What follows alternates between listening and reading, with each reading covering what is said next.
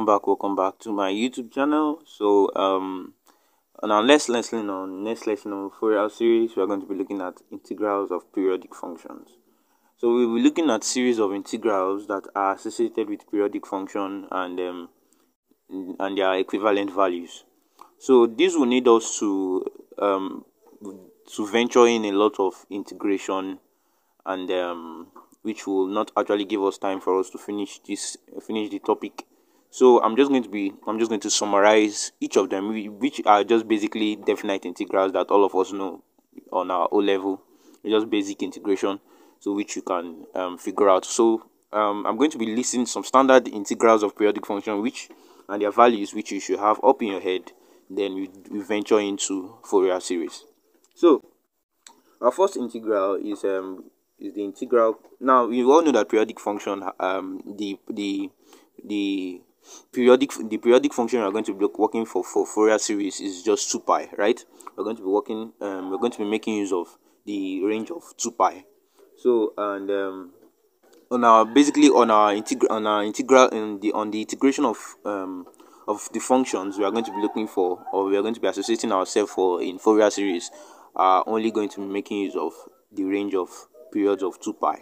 So what I mean is that we're going to be having range of minus pi to pi or range of 0 to 2 pi. Meaning that the the values of x will be will between um, pi minus pi and pi in which if we calculate the range pi minus pi minus minus pi which is 2 pi.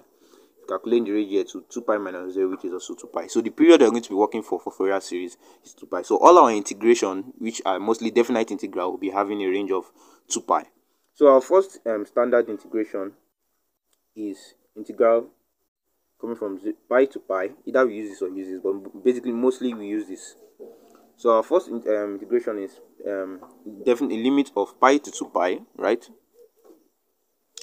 and um, of the x now this integration is just basically integrating the x, which we can actually do. So integrating the x, now we all know that is x, right? And applying our limits, which is minus pi to pi. So applying our limit, we have what? Pi minus minus pi, right? Which is equal to 2 pi. So this is the value for the integration of um, the x. So our standard, second standard um, um, integration uh, integral is um, integral coming from pi to pi of cos nx, where n cos nx where n can be any value right so n can be any value so this when we when we integrate it using our normal or normal integration the value is zero. So the integral went from integral coming from pi to pi of sine nx now integrating these two our answer is what zero right then fourth one um, we have integral coming from minus pi to pi of cos square nx dx. Remember, it's supposed to add the x here, the x here, because you're integrating with respect to x.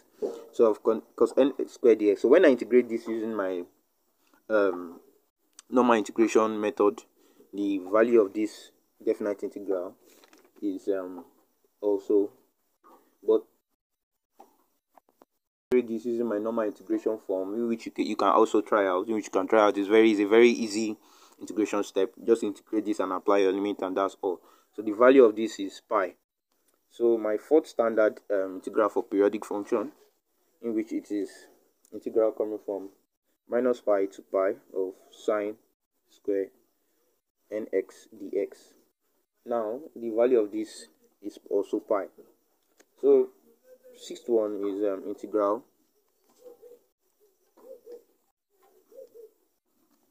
Integral coming from pi to pi.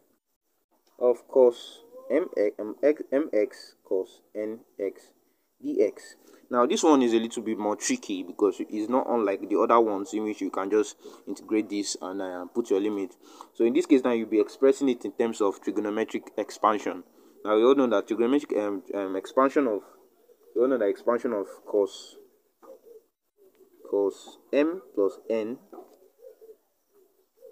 x is equal to cos mx cos nx minus sine mx sine nx and then cos So we are going to use make use of two trigonometric trigonometric expansions so that when you add or subtract it, it will give you this value.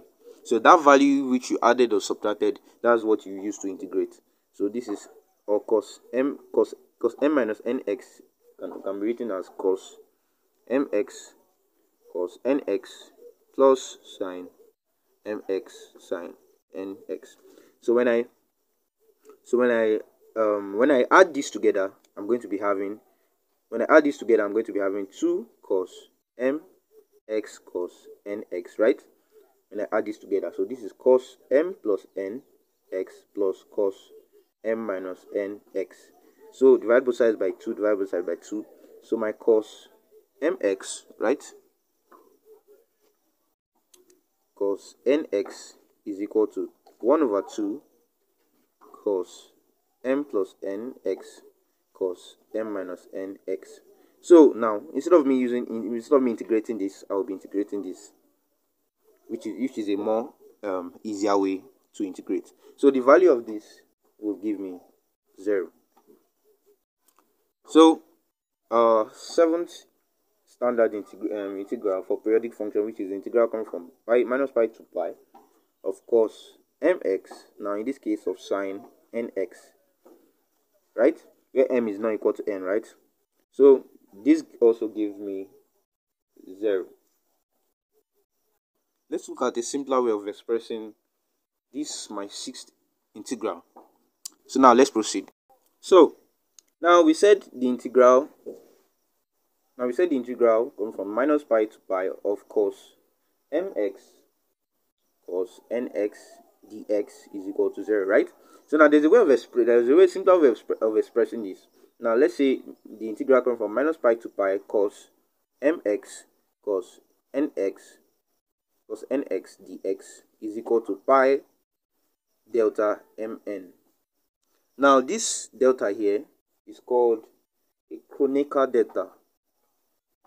A Kronecker delta. Now I'm going to tell you what what this means. Now where the Kronecker delta imposes this condition. It imposes that the Kronecker delta is 0 if m is not equal to n and is 1 if m is equal to n. So, this, this is the, I prefer using this um, value as the simpler way of expressing this. So when we have, when m is equal to n, this value here becomes pi. That is, we have integral from minus pi to pi cos mx cos nx dx is equal to pi if m is equal to n. That is, you can have mm or nn. Um, that is that. So, or it becomes zero, just like the one we have, just like the way we, we expressed it. Or it becomes zero if m is not equal to n. So this also applies for the sine function too.